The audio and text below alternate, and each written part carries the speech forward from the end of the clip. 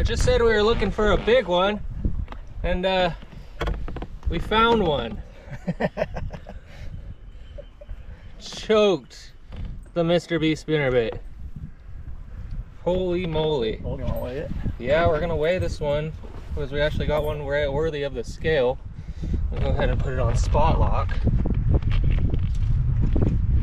Looks like that was a. She was getting ready to spawn. Was the tails all beat up? Well, I think I found a pattern.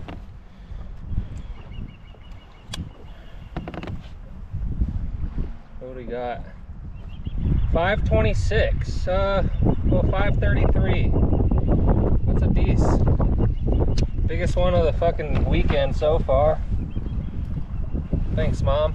Mwah. Want a picture? Yeah, fuck yeah. Picture. I almost let her go before the picture.